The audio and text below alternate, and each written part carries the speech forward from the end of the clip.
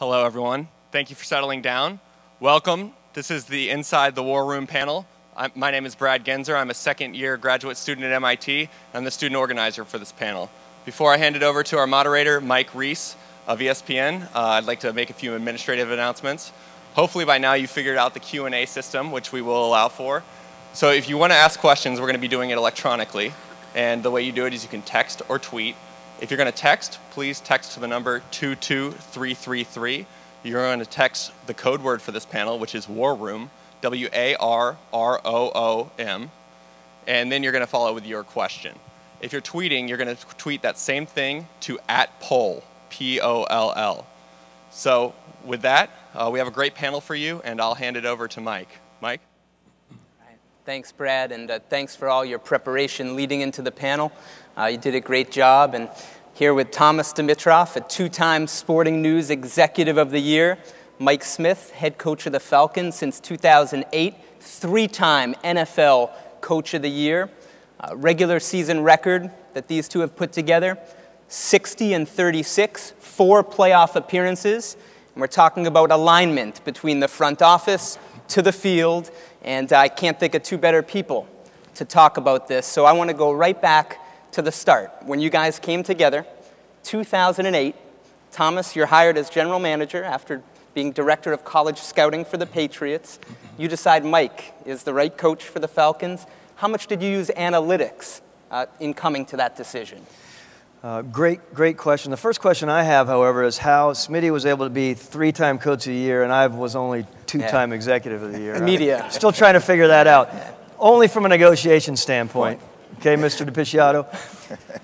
Look, uh, we've talked a lot about this. We, we are in a really comfortable situation as far as the relationship between myself and, and Mike Smith. And, and when we kicked off this journey back in 2008 in Atlanta, you know, our goal was to bring, bring together a group of individuals and football people who had a really good, strong understanding of the game, which Mike does, understood the importance of enjoying the journey as well, which I think most of us understand in today's world. It's not about, you know, uh, drudgery. It's about making sure that if you can have, you know, enjoy the journey, have fun, while working very, very hard, that you know you have a, a, fighting chance to be successful. We all know in this league, and I think most who follow sport, you know how imperative it is to have a really good working relationship at the top between a general manager and a head coach. Mike fit the bill. As counterintuitive as it is, that most of us would think you have to just you, you have to go after the most uh, uh, incredibly wildly, highly educated individual from MIT or Harvard. It's, it's not always that way. It's, it's about the people side of it as well and, and about the relationship and being able to be communicative day in and day out, sometimes even five to 10 times a day. That was very important for me in the quest to find a coach, you know, like Mike is, to make sure that we were going to be on the same wavelength at so many, so many levels from an analytics standpoint, interestingly enough, there's no question. I don't even know if Mike knows exactly what we did as far as analyzing Mike from a statistical side. Mike just thought he was a nice guy with a great understanding of football. There were a lot of other things uh, under the covers, so to speak. As far as our analysis of Mike as a defensive coordinator over all of his years, um, as a linebacker coach as well, determining where he was from a statistical standpoint and his teams were, producing sacks, uh, tackles, where they ranked as far as defense over the years. That was very important for us, for us to, in the end, just like we do with players, juxtapose Mike Smith with the five or six other coaches that we were interviewing. Had a lot to do with the statistical side, on top of obviously the personal side uh, that, that Mike was so uh, fit the bill so, so well. Mike, what, what, do you remember about that process? Well, I, I remember uh, it being a very long process uh, in terms of uh, going through and, for me, analyzing what the Atlanta Falcons needed to get back to the type of football that needed to be played. Uh, and I think when Thomas and I first hit, what I remember is Thomas and I had never really even met each other prior to the interview. Uh, that doesn't happen very often in the, uh, in the National Football League because guys work with one another. But I had never even really had a conversation, and I can remember sitting down with Thomas, Mr. Blank, at his office and said, you guys got an hour. Well, he, Mr. Blank stuck his head back in at, at about an hour and five minutes, like, hey, are you going to break this meeting up? And uh, we said, well, we need a few more minutes, and it ended up going about two and a half hours. Uh, and we, we had a connection on a lot of levels about what it takes to build a football team. And believe it or not, uh, analytics are a big part of it because you have to analyze what the team had done in the previous seasons, what the team had done the previous years, what Thomas's background was, my background was, and we came together in that in that meeting, that first meeting, and we I left out of there going, "Wow, that went well," because we see the game of football and we see running a football team the same way. Uh, and it was very good communication, but it was more about, in my mind, it was more about collaboration. Uh, we could talk on, on, about so many different things. And uh, when you have a collaborative atmosphere uh, starting off and you're able to keep that going, I think you're going to enhance your chances for being successful. Not only uh, did Mike come to the table with a, a lot, you know, a great book, a great presentation, and, and definitely from a statistical standpoint, everything that you offered to us and me as we were analyzing. He was very good. He did his research. He, he, had, he knew my Grateful Dead bent. He knew my snowboarding and mountain biking. So he, he was able to kind of, I think one of the other things I think he did is he did a really good job with knowing our, our organization. And I, I say that tongue in cheek, obviously, but Mike is such a people person. He understands how important it is to bond with the people in our building, not only myself, but the rest of the organization. Mike, you, you mentioned that you guys actually had never really met before the interview. I, I want to talk about once you did sort of come together as a group, uh, how often do you meet on a regular basis when we talk about this alignment between the front office and the field? Well, from the very beginning, it was daily. Uh, you know, Thomas and I were coming into an organization that had been in place. Uh, so we were the new guys. Uh, and it was, it was difficult uh, in, in some instances because we were learning at the same time not only about our football team, but we were learning about the organization. So in the beginning, we met every day. Sometimes started the day to see how the day was going to start and end the day. Now, our families weren't there, so it was a lot easier to, to do that. Uh, and I think as we've grown, we don't meet as much, but we don't go a day probably without having a conversation and it's on a lot of levels. It's not just about the football team, it's about the organization. Thomas's position is, is such that he's running the whole football operations, not just the football team. So, uh, you know, interesting point as well. We, we meet very regularly and on the field during the season. So, in season, different meetings, different discussions, different points of focus. Mike's point of focus, obviously, is coaching the football team and being what we like to call the CEO of our football team. Now, I think that we spend a lot of time during the in season, but you know, overall, the time that we spend in the off season is more because we travel around a lot. We are really, really involved as a as a GM head coaching tandem as far as building our roster. So. After the, um, after the Senior Bowl and the Combine, and then now going out into the spring to visit all of these different schools where we may be interested in certain prospects at X, Y, and Z uh, university across the country, we're traveling, we're together a lot. So I think we're together a lot more now, this part of the season, than we really are during the season. I always assume that I could sit back, here you go, Smitty, here are all your players, this is exactly what you need, and kick my feet up and be able to relax, but somehow that doesn't always happen. Yeah, it's not that easy, Thomas, as you know, with, uh, with, I injury, it was. with injuries and Okay. such. But, uh, Okay. you know, when you talk about the, the off season, I, I have a different term for it, uh, and people that follow the NFL know it. It's just the non-game playing season, Mike.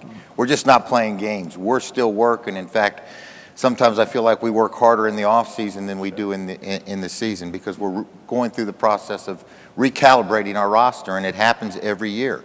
Whether your record is 13 or 3 or whether your record's 12 and 4, the way that the NFL is designed with uh, regards to the salary cap, you're going to be recalibrating your roster every offseason. And that's the most important thing is you've got to analyze where your team is and where it's going to be in a year from now. And that's what I think Thomas and his staff do such a great job. As a coach, I live week to week. As a general manager, He's got a much further, uh, longer timeline than I have. I'm all about the next game. Thomas is about the next season. And he always is, it's a good checks and balance because there'll be times that I'll be wanting to go, hey, Thomas, we got to do this. You know, we got to come in and make this, we got to talk about this, and we got to get this guy, that guy. Take a deep breath. His timeline is much, is, is much different, and I think that's kind of a, a good way that we work together, that we have different timelines. We're, and I definitely want to get into that more, you know, specific to analytics in a little bit. But I did want to ask you this, this sort of partnership, general manager, coach, anything you can compare it to, you know, in, uh, in sort of real life, if you will? I, I mean, not specifically. I think it, it's common at, you know, at any level from a corporate standpoint, at the, from a business perspective. It is so important to have that partnership at the top working together in a, you know, sort of a, um, an easy flowing type of way and being able to communicate. Believe me, we have our discussions, we have our disagreements like anyone would, but it is so important to make sure we, we live by this sort of basic pyramidal decision making model. It's, it's, we have a lot of really important people involved in the process, as Smitty mentioned, very collaborative. Um, we, at so many levels, with coaches involved, with our scout and our personnel department involved. But as, it, as we move towards the top, towards the decision at the very top, it's going to be myself and Smitty at the top making the decisions. There are some incredible people. We just, we just added recently, we added some new coaches, a new offensive line coach, a new D line coach. We, we, we added someone that you in New England would know very well, and Scott Pioli as, as our assistant general manager, who we're you know, wildly excited about because of what Scott can come to the table with as far as insight, not only from a personnel and a team building standpoint, policy standpoint, financial standpoint. So we've really, we really talk about how important it is to have all the people around us to help us make the decision at the top of that pyramid. But in the end, that relationship has to be, uh, it has to be synonymous, uh, excuse me, it has to be, what am I trying to say? It has to be working, it has to be smooth flowing in so many ways. Many, many times over the years, we've seen GM and head coach who are great football men, but in the end, they weren't together on their approach and, and things fell by the wayside. Do you think of anything on that, Mike? Yeah, I, I, I agree with Thomas in, in terms of that we want to have as many people involved in, in the decision. And analytics are very important. Uh, you know, we analyze everything that we do prior to making a decision and post. But it is, it is part of the decision-making process, and it's a big part uh, with, with the Atlanta Falcons. But ultimately, as we get closer to the decision, more and more people do fall out of the, uh, do fall out of the decision-making process. So the, I just wanted to start by everyone getting a feel on how these two guys work together, because I think that's really the foundation of what this panel is, this sort of building alignment between the front office uh, and the field. So now I sort of want to dig in to how you actually did that when you got there in 2008. So, uh, Thomas, I'll just start with you. I mean, what, what were the biggest challenges that you had as you started this process of trying to get everything aligned in this Falcons organization? Again, I think everyone has to understand that you're talking about, you know, general manager and management and head coach. It's not always easy to be on the same wavelength, so to speak. There are different agendas. Hopefully, the agenda is right, and that was one of the things in the process of hiring Mike, in the, in the process, process of discussing what Mike was about and what our philosophies were about, it was very important, again, that we were, that we were um, our approach was, was very similar because there's no way that we would have been able to approach something that was coming off of really a treacherous season in, in 2007. So Mike and I talked about it from day one about the importance of, of building a team that, you know, full, as you know, Mike, positive, passionate, and persevering people. Um, you know, people that were going to come in and, and put their, their, um, themselves on the line to accomplish what we needed to accomplish. Not only, not, only from a, not only from a player standpoint, but definitely from a young and a coaching standpoint and a personnel department standpoint. It was very important for us to approach it in that way so that everyone understood that we were, we were traveling in the same direction. Yeah, and I think in two, when we started in 2008, one of the things that I did in uh, investigating, putting together coaching staff is I tried to analyze what other staffs were and how they were put together. And I really came away with some interesting takeaways just on a simple analyzation of how staffs were put together. And I think we did it a little bit different in, uh, uh, in Atlanta in terms of, of the backgrounds of the coaches. And they were for specific reasons because I really believe that you have to have a cross section of, of coaches that are interacting with the players on the field day to day. So we had college, former college coaches, former players that played in the NFL, and then I wanted to have coaches that had head coaching experience as well because it was my first head coaching job. I wanted to have three or four guys that had sat in that position that I was sitting in and I could go to them when there was something that would come up because they've analyzed and gone through and looked at looked at why they're not head coaches anymore, and you can learn from uh, the people that you surround yourself with. There's actually a great example of that just currently, the, the San Diego Chargers, where Mike McCoy was talking about why he hired Ken Whisenhunt as his offensive coordinator, because Whisenhunt had done it in Arizona, same exact thing that, that he had said. So um, people might forget, 2007, when you guys weren't with the Falcons, was probably the, the toughest year that a franchise can have. Uh, the head coach had actually walked out on the team. The Falcons finished with four wins that year, and general morale in the building was probably at an all time low, not to put words in owner uh, Arthur Blank's mouth. But, Mike, I want to ask you, you know, as you sort of got in there and started to put things together, what did you do to try to change the course of that? Well, I think you have to change the culture uh, of, of the building first, and really the support staff was probably the first thing that we had to uh, had to address. We wanted everybody to know, hey, the guys that the guys that do our film breakdown, the video guys, the guys that work in our computer uh, IT department, uh, we wanted them to all know that they were going to be an integral part of, of the success that we were going to have in the in the future.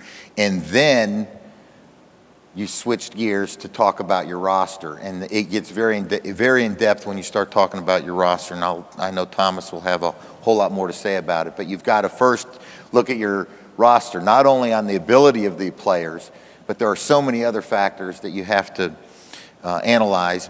One being how we're going to put this together to fit under sal- the, the salary cap. So that was how I approached it. The support staff first, and then we moved into evaluating our roster and looking at what they bring to the table and what they would do for us as we were going to change how we did business moving forward.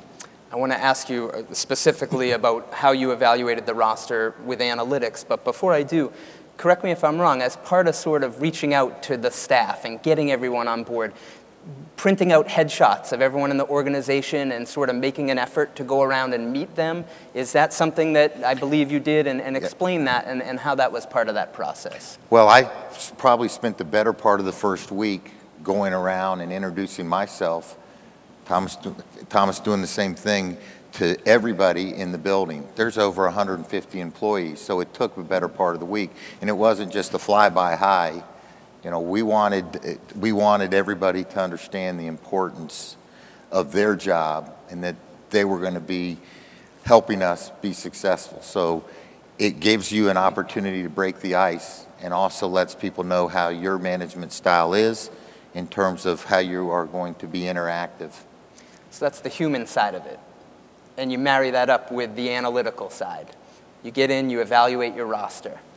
Thomas, explain how you did that when you, when, you, when you got in there and you're saying, this is what we have, and how did you use analytics in sort of evaluating your roster? Well, first, just from a human standpoint to lead into the analytics, I mean, we were an organization that was just in, in disarray, and everyone in that organization, when we got there, was looking for serious direction. They, unfortunately, and, and not to be um, uh, not to be negative about the people that were there before, but I mean, this was a situation that, that was just craving direction, positive direction, and Smitty did a heck of a job trying to pull, in his attempt to pull everything, everything together from a support staff standpoint. That was very important for us.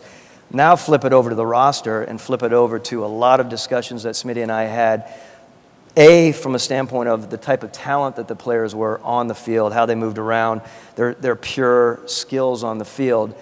Compare that to where we were in free agency, what was available in free agency during that time in 2008, and what was going to be available in the draft as well. And as well as from, a, from an analytics standpoint, and then compare where we were contractually not only with our team, but where, where we were, our comparative, uh, comparatives to other teams and by position. That was a big thing for us, looking at our positions and comparing our contracts to the rest of the contracts in the league to see exactly you know, how we stood from a, you know, from a salary cap standpoint, but also from a value standpoint. And that's, that's a huge thing in today's NFL, and we'll continue to talk more about that. But for us, you can imagine neophyte general manager and head coach coming in trying to decide the direction of the team, not only in the building, but from the standpoint of putting together the right roster. There were a lot of things involved. There were a lot of uh, statistical analysis and approaches involved with um, you know, some of the very important people in our building who were some very intelligent people, much more intelligent than uh, myself. I won't speak for you, Smitty, but no, they're a lot smarter but, than me. Uh, I you can know, assure you. Much more intelligent that way. That could provide us with some very sound um, background on you know our decisions and help us make the decisions on who we jettisoned from our roster and who we decided we'd stay with and who we might decide to, to restructure. So, so just to follow up on that, Thomas, uh, it sounds like the analytics are a big part of the economics. They're almost weaved together. You take the football side, the economics, and, and that's a big part of these analytics that we're talking about. The economics and, and analytics are huge for us. Again, uh, you know, when you're talking about what's going to be potentially 130 million plus uh, you know, dollar cap, you have to be very smart about how you're utilizing, you know, utilizing your resources. We signed Matt Ryan last year to a $104 million contract. A whole other topic of conversation, but you can imagine you have to be that much more creative with how you're going to lay out your roster. When five players on your team are making as much money as most teams are making right now, when you think about it, there's Matt Ryan making the money that he's making, and you know hopefully, knock on wood, Julio Jones heals up, which he's going to. He's to, you, you're looking at two individuals on a team making over a quarter of your cap. That's, that's, that's tough to look at that. It's great, two amazing football players. However, it's up to us to be very creative by using analytics and trying to decide where we're going to, you know, divvy up our money. There is a, there is a, a disintegration, so to speak, of the middle class. And uh, go figure that the middle class is five or six million dollars, but that is, it's, it's, it's, it's easing up, so to speak, and we're going to have to spend a lot more time developing our football players, which is another very important topic of conversation youthful development. You, you touched on this before, Mike. You're sort of in that head coaching seat where it's the short-term focus. It's that opponent that week. It's I, you know, I got to get better, uh, get the team better for this game. Thomas is that big picture seat, you know, the, the general manager, building the team with the long-term vision in mind. How do you, as the head coach, sort of stay disciplined in sort of balancing uh, those two sort of um, viewpoints? Well, I think I have a very good understanding of it simply because Thomas has been able to educate me along with his staff in terms of how contracts are, are put together and how you have to project what's going to happen two or three years uh, down the road. So it gives me a sense of understanding it. Now, the toughest job is then going to my assistant coaches, who probably are even more narrow minded in terms of their, their timeline, and explain that we can't get player A, B, and C here.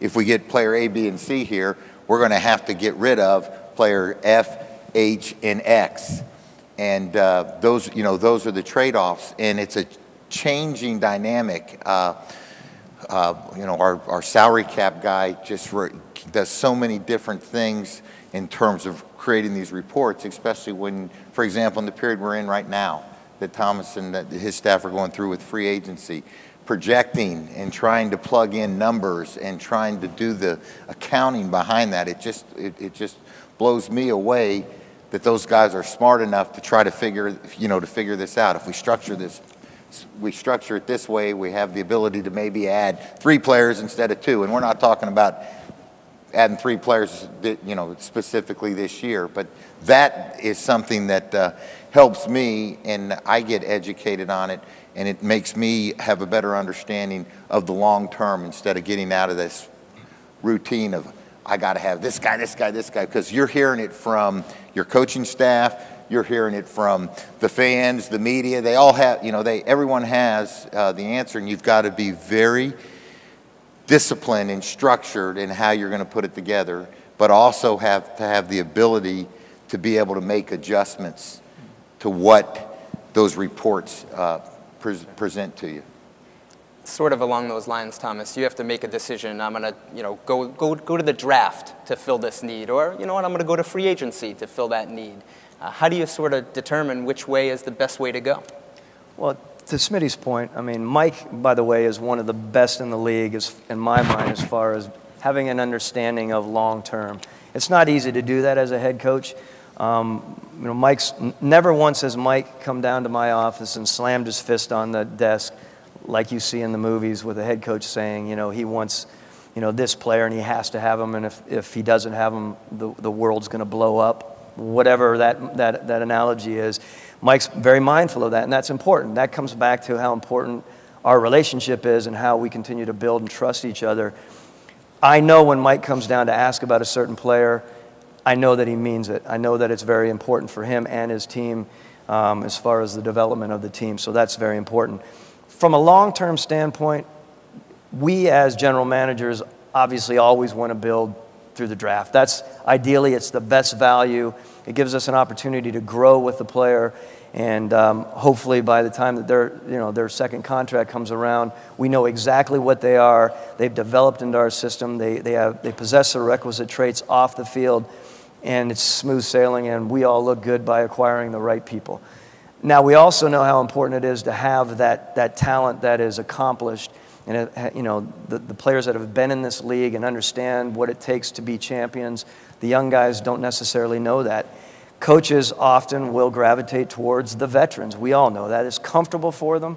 Um, and, and yet, we all know, back to my earlier point, we can't have our roster littered with a whole bunch of veteran talent. There's no way financially that we can do that. So it's important to have the long term view from the draft building standpoint, but also be very mindful of the here and now because we all know, everyone's heard the line, the not for long NFL um, um, statement. There's no question that Arthur Blank, he's a fantastic owner, and yet he wants to win now. We know that. Last year we were 13 and 3. This past year we were, you know, 4 and 12. It's tough the patience for our for ownership in this league is you know it, it, it, wears thin you know through a season like that. So we have to be mindful of sort of marrying those two elements draft and free agency. And a lot of it does come down to analyzing what the players you know what the players really are from a standpoint of draft the youthful guys to to the veterans. And how are the veterans truly producing at this point in their career so there, again, analytics abound as far as our analysis of do we go after this defensive end in the draft and wait for him to develop over the next two, three, four years? Or do we jump right in, spend big money, big money I'm talking about for a defensive end, and hopefully he impacts right away?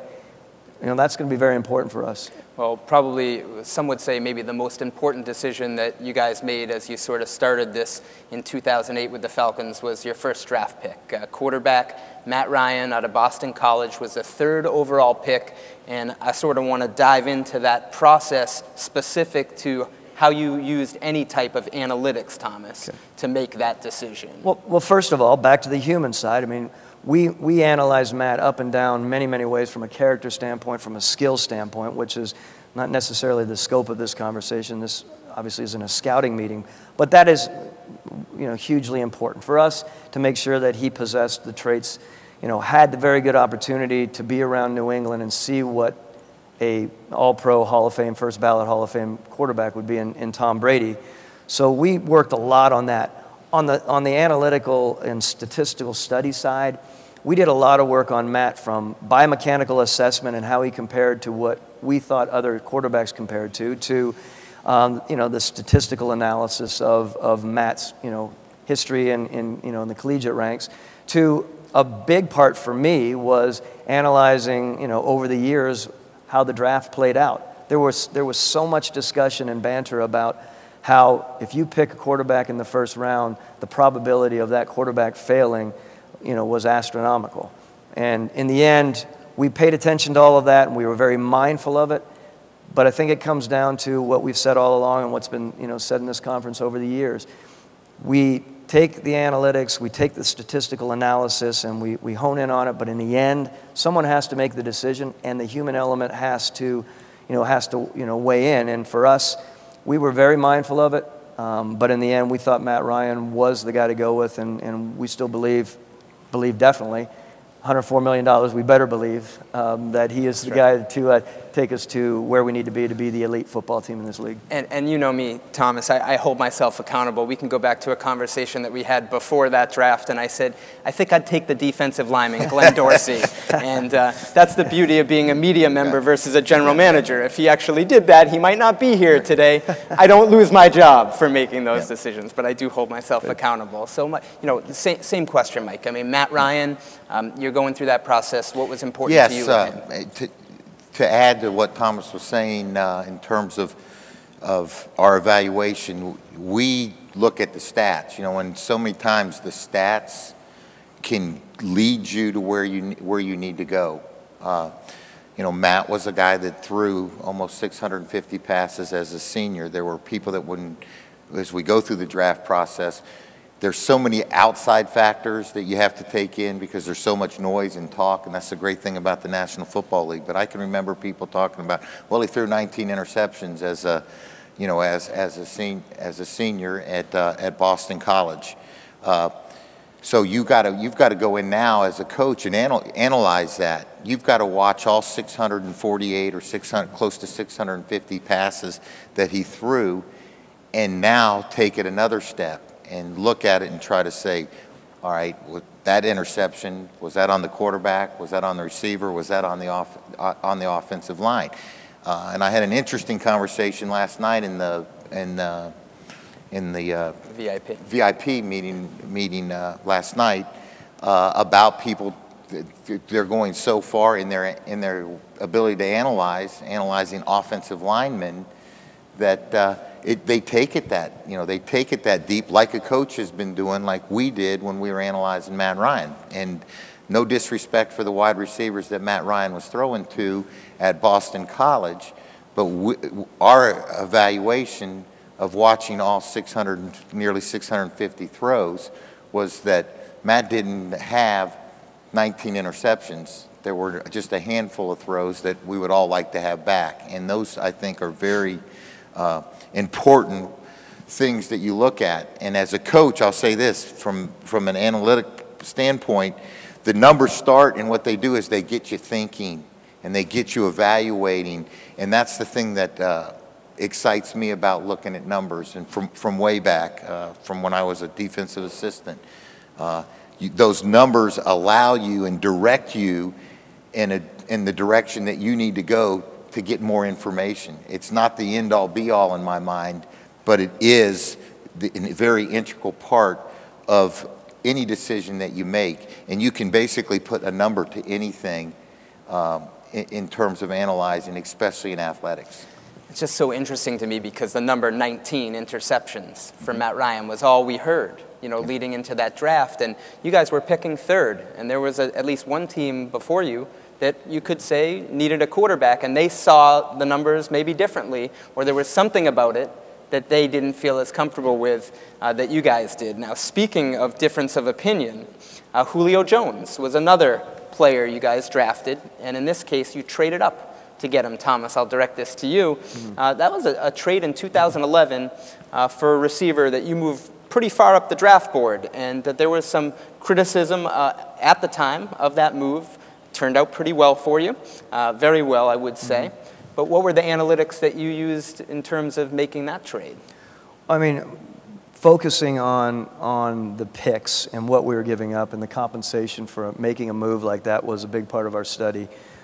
Julio Jones aside, we did the same thing as we did with, with Matt Ryan as far as analyzing biomechanically and comparing, comparing Julio Jones with all the numbers that we had from a biomechanical assessment to other top notch receivers in the league, which I thought is, to me, I think that's fascinating, beyond fascinating, to you know, his strengths, his power output, et cetera, et cetera.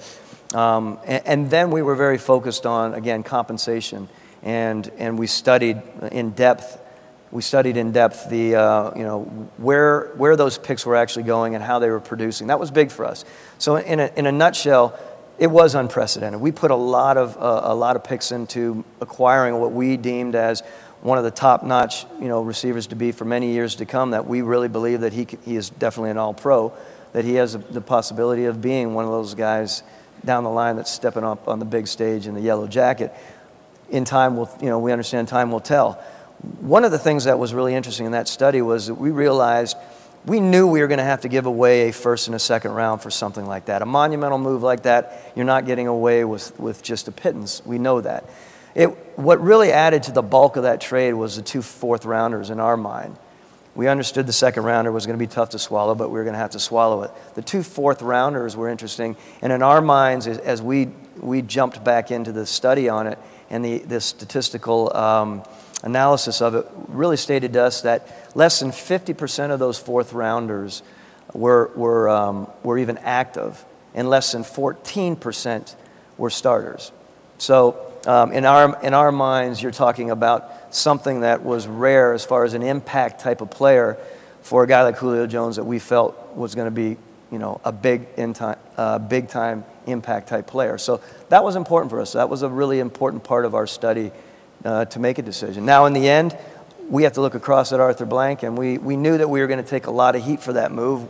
You know, it was an organizational move. It was a decision that obviously something like that your owner had to be on and, and Arthur was on, on board with that move. And, and in the end, uh, I'm the only guy that takes heat in the, in, in, the papers on that. Guys like you are killing me, but, but uh, you know, it all, it, it, in the end, hopefully everything works out, and, and I, we understand how that is. And, and uh, we're, again, the study of it helped us make a very sound and strong and difficult decision.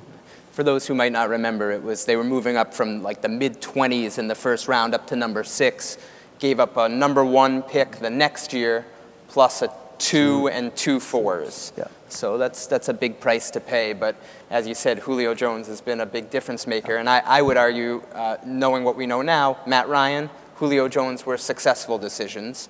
Uh, but as we know, not every decision is a success, even for uh, the best in the business. So how do the decisions that aren't successful challenge you, Mike, I'll lead with you, to stay disciplined you know, in your philosophy and approach? Well, you have to be able to improvise and adjust in your decision-making process uh, as a leader, uh, not just in, in, in football uh, and running a football team. There's so many factors that come into play uh, why a decision didn't work out. Sometimes it's, sometimes it's injury. Uh, sometimes it's personal, a personal matter. We all see it. These are human beings that we're, that we're working with and dealing with. Uh, but you have to stay the course. I think philosophically, uh, from the very beginning, we've talked about building through the draft, supplementing through free agency, and that's what we've done uh, for, the, for the six seasons that we've been here. But there are specific situations that are going to arise that you're going to have to change, change course. Uh, and maybe the numbers tell you to, to go one way, you're going to have to, you're going to, have to go uh, a different way.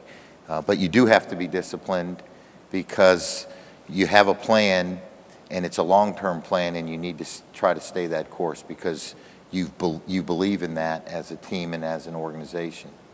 So to, to, to Smitty's point as well, I think um, one of the things that I'm learning now in my seventh year is the importance of, and Smitty take this the right way, of me studying our coaches as well. I mean, understanding what we have as a staff, how we coach, I think we have a fantastic coaching staff, and they're all individual. They all approach things in a different way. So, the idea of bringing in a, a free agent, talking about moves that haven't been successful, and I won't mention names, thinking that that player is going to, you know, is going to make a big impact on our defense, for instance, but understanding that that individual and his character, excuse me, his personality may not mix, you know, with a certain position coach is something that really has to be up to me in the end. Smitty and I can talk about it, but I mean, if we're talking about laying down, you know, 15, 20, 30 million dollars on a free agent and the, the match isn't right, I think you're destined for, for failure. And, I, and that's only part of it. And I understand sometimes it will work and other times it won't. But I, what I'm learning more and more now is to be a lot more, um, you know, have a lot more foresight and, a lot more discussion with Smitty you know, our, our head coach as well as our coordinators, and sometimes to a point of talking with our, with our position coaches to really decide if this is going to be the right fit. You can even go back as far, and one of the things that I find intriguing is going back as far as trying to determine, you know, the history of, you know, Mike Smith's defenses. Are we producing in a certain area? Have we? Is that is is a you know is a defensive end the right move for us to make draft free agency to, and expect you know 15, 20 sacks? And, and if, if, if the defense isn't set up that way and it's more set up for pressures and more set up you know, for, for you know, other intricacies in a defense, then we have to make the decision if, if that is, in fact, the right investment. I think that's really, really fascinating. I think in my early years, I, didn't have the, again, I didn't have the vision that way. And I think now, seven years in, though not 20 years, I think I'm, I'm going to be a lot more mindful of that going forward. You know, we're, we're speaking of challenges here, and I know, you know, 2013 uh, wasn't um, a season that reached the standard that you guys had in your first uh, five. Uh, how challenging was that for you, Thomas? And, and as we sit here today, um, just sort of reflecting back on that and trying to get the things turned around to where they were? Uh, well, I've, I've been pretty open about this. I mean, 13 and 3 is nice, and we had some great seasons. And, you know, uh, I'm going to brag on Smitty again, but I mean, the fact that Mike Smith prior to this year was, you know, he was second to Bill Belichick in wins over the last five years. I mean, that's an incredible record. We, we, this coaching staff and Smitty, they, they have not forgotten how to coach. I mean, this is a, this is a top-notch staff, and, and Mike leads, leads the charge with it all. Um, and yet, at 13 and 3, one of the things that I, I've realized is you don't want to change when you're 13 and 3. Um, you know, Mr. Blank's not going to change and start doling out money at 13 and 3 because if you're 13 and 3, man, you've, you've figured it, you know, you're figuring it out and why add more to the plate? Stay the course, that, that's a common phrase. I love that phrase when it refers to values, uh, not necessarily in the, uh, from the standpoint of staying the course, you know, when you start to lose. Sometimes I think it's important for, you know, Smitty uses the, the word, you know, he's referring to calibration and, and changing. That's a very important part. For us, 13 and 3, you're staying the course, so to speak. At 4 and 12, what I found is what I was referring to as productive vulnerability. It's when you truly look at everything, truly stand in front of the mirror and strip yourself down and say, look, we need to change a lot. Starting with myself and Smitty at the top, it's one of the discussions we had a lot. Uh, he, uh, Smitty and I talked a lot about it, but we talked to our owner about it. The three of us. You want to talk about being taken to the woodshed? I mean, that's why it makes it that much easier when we go out to some of the, you know, some of the direct reports that we have or, you know, and or the, the director roles. And we're not that hesitant about, you know, pressing them because believe me, we've been pressed in our own way respectfully to everyone. That's, that's our responsibility. So the productive vulnerability side of it all is something that I felt, found really intriguing because I mentioned earlier, and then I'll throw it over to Smitty, positive and uh, passionate We've dealt with that over the, the years in my mind. We have not had to deal with the persevering side of this organization. And at 4 and 12, you really test yourself on that uh, at that level as well. Same question, Mike, and because I think um, you were the first Falcons coach to actually have back-to-back winning seasons, if I remember that correctly, in 2008, 2009. So it hadn't, you know, reached that level. So um, how challenging was it for you? Well, it's challenging when you're not successful and you're always looking for answers. Uh, you know, as as a coach to what you can do different. And I think we've done a very nice job uh, as an organization analyzing what we need to, do differently. Uh, and you have to make changes. And you don't just make changes for change's sake, but you have to take a good hard look at it. Uh, and you have to take in information from everyone. Uh, I think it's important that uh, our players are part of are part of the process uh, how we can do things uh, differently. And a lot of it, as a coach, you look at how can we present it? How can we present this to the, to the players differently? Uh, and there's technology available that we can do things differently. And uh, that's something that uh, was the feedback that I got from some of our, some of our players in the way that we pre present the information. Uh, you know, the days of the playbook and a piece of paper to keep a notebook, though, you know, th those are going away very, very quickly. Uh, you don't need to have a thousand notebooks in your, in your building. Uh, you have the technology. Guys are so more efficient moving around a device, an electronic device, that they can get the information that they need. Uh, the cut-ups, uh, I'm going to get going off on football, but the cut-ups are you can actually create your own cut ups now. Our, and we weren't allowing our players to, to do that because they may want to analyze it somewhat differently. They may not want to look at it as all the third downs together. They may want to look at it in some different way. And there's so many ways. It's a simple, it's a simple spreadsheet and, and, and sort. But believe it or not, even guys that are not probably trained to, to use it because that's what the world that they've grown up in. They've grown up in the Excel, the PowerPoint uh, world. You know, I can speak to my, you know, my daughter who's in eighth grade.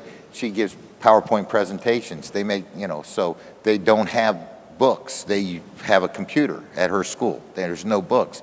So those are things that we're looking at as a coaching staff in terms of how, instead of us getting up front of the board and presenting it, using the technology, using the information that we have. We take one play and put 250 plus characters on that one play, and each thing, each character means something to that specific play, and now a player can use his mind and how he wants to evaluate and look at it. So we're, get, we're, we're also looking at the theory of teaching, and you know, you always wanted to teach to the lowest common denominator. We feel like what we need to, what we need to do differently is we've got to have guys at different stages of their development, and the coaching staff has to do that because we're going to hold back our players uh, if we keep, if we continue to coach to the lowest uh, denominator. So. As you were saying that, I was feeling very old school here with my with my note cards. You know, like I should have an iPad and yep. like a bunch of different things around me. So yes. Well, I mean, to that point, I mean, the other thing that I think needs to be uh, discussed at 4 and 12 again we talk about okay let's let's open it up and try to decide where we've gone awry and what needs to be fixed the other thing that our league is doing right now we're in a, an incredible crossroads i believe where we are with technology and and where we are with cognitive training which is a whole other topic of conversations which i'm incredibly fascinated by you think about that you, you think about cognitive training. You guys all have had an opportunity to be around the player tracking discussion today. I mean, the league is firmly entrenched in that. We've been involved with that over the last four plus years and what we're determining about the readiness of players.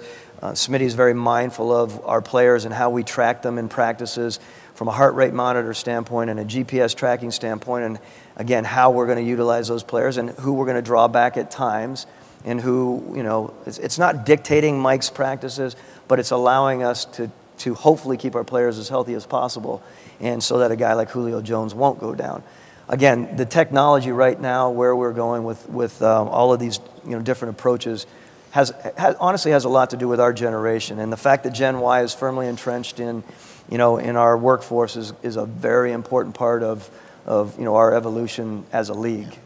Yeah, and, yeah. I, I wanna, oh, absolutely, yeah. Mike, and, and I'll grab you know, the, the young, the, the, young people the younger, the, the quote, we use say entry level coaches and all that, uh, have some, you know, have some wonderful skills and their skill set is such that I think they, they will enhance the learning curve uh, for, you know, for our players. So not only for us in terms of tracking uh, and, and being able to make sure that we have the proper workload, I really believe that technology is uh, you know, is going to continue to explode. Uh, our players spend more time uh, interacting with, you know, with a technological, tech, some type piece of technology piece, probably uh, in the last two years, it, it's exploded. I mean, you see it completely differently when you walk, walk through the locker room. And I agree with Thomas. It is the generation that, uh, that, that is coming up, and integrating into the workplace, whether it's football, whether it's accounting.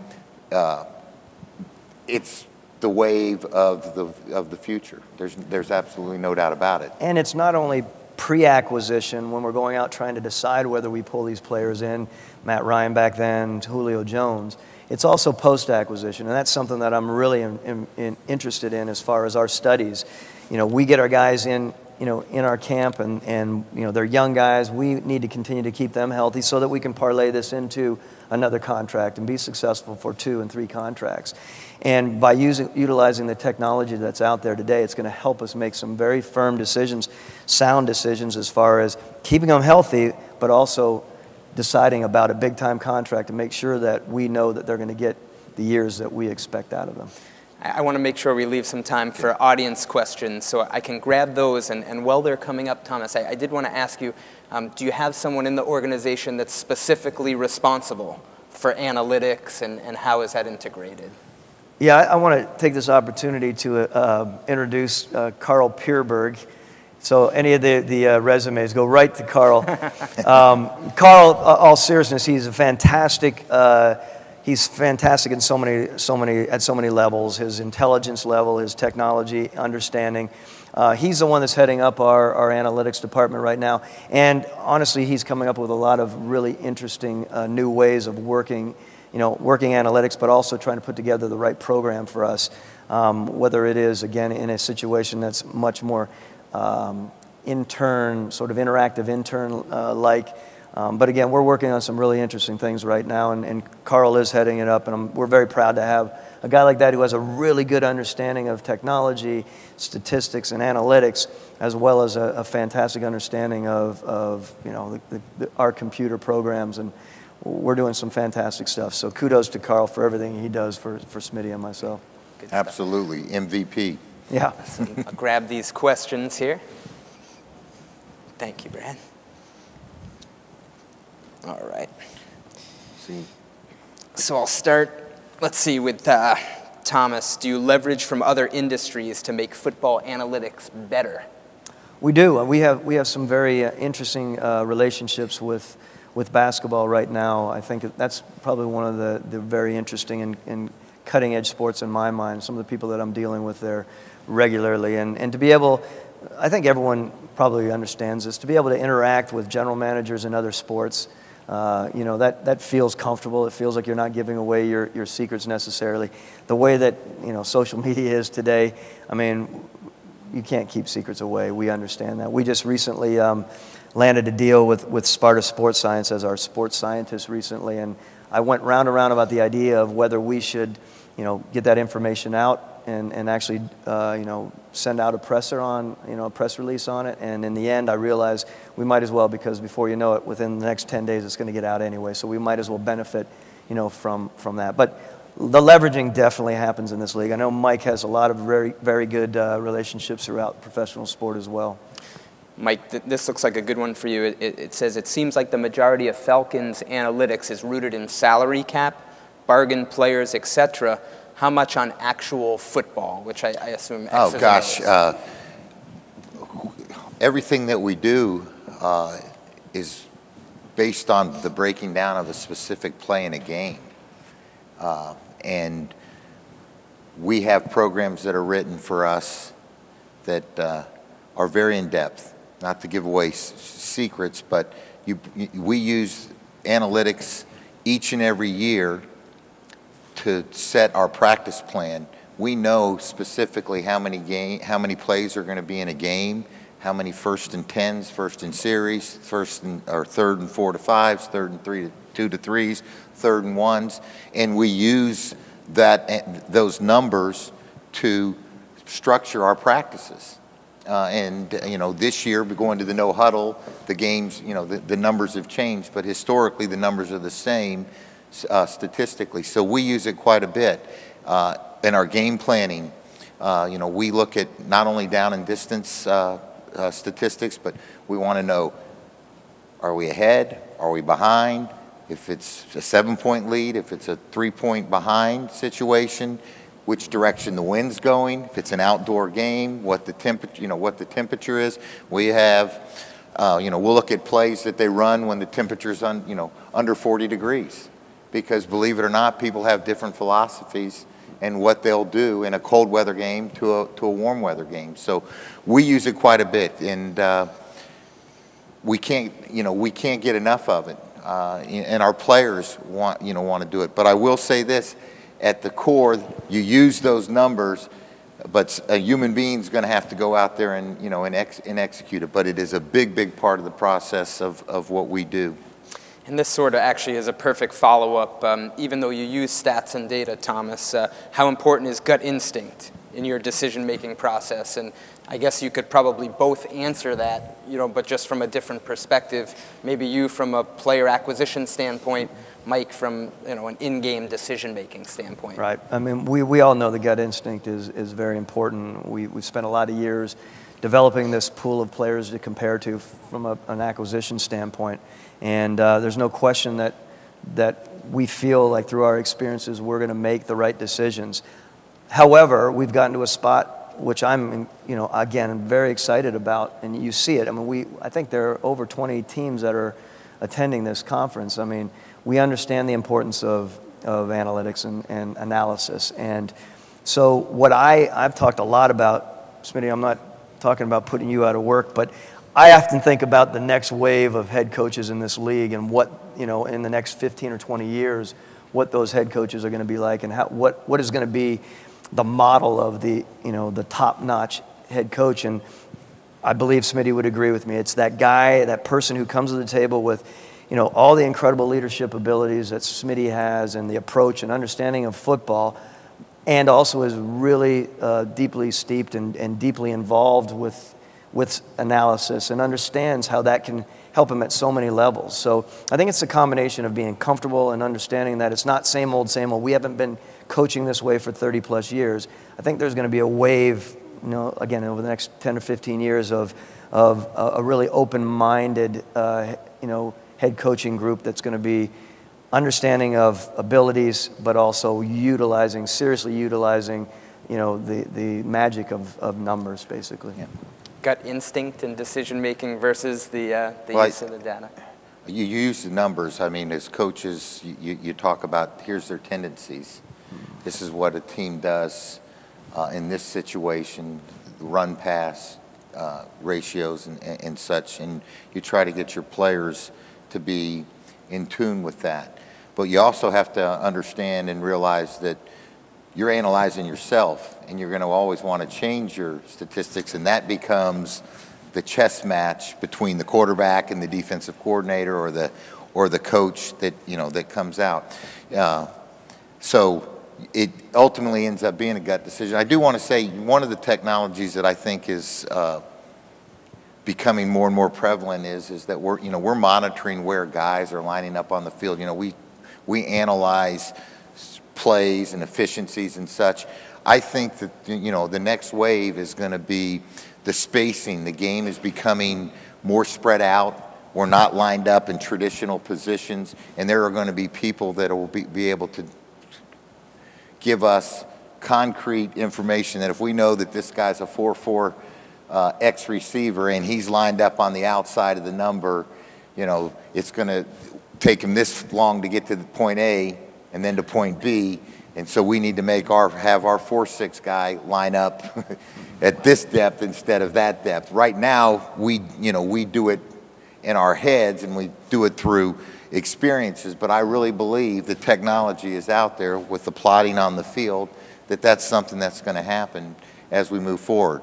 And I'll say, Thomas, 10, 15 years from now, I believe you. There's going to be all kinds of, co- but I'm not going to be coaching in 10 to 15 years. You're going to be up in Tennessee. I'm going right? to be, yes. you're going to have to come see me uh, up, you know, up in the hills. But I, I really believe that you see the new wave coaches, the young coaches that are coming in, how intelligent they are, and how tech savvy they are, mm. and how they can create so much information that's so valuable for a coach in the decision making process from Monday to Saturday to prepare you for that game on Sunday. So uh, we've reached the two minute warning, so we'll take a TV timeout here. Everyone can just relax for. No, I'm just joking. two minute warning. I don't. I here. I'll give you the red flag. I can't go. throw it in the last two minutes. the uh, final question, and it brings us full circle here, because uh, this panel was about alignment between the front office and the field how you build it together. Uh, final question. Alignment is great, but how important is respectful tension and diversity of ideas? And we'll wrap up with that. You want to go first? Yeah, sure. Uh, as Thomas mentioned uh, mentioned earlier, you've got to, you've got to have disagreements in a relationship. If not, then you're not going to you're not going to move forward, and you're not going to be as efficient as you possibly can.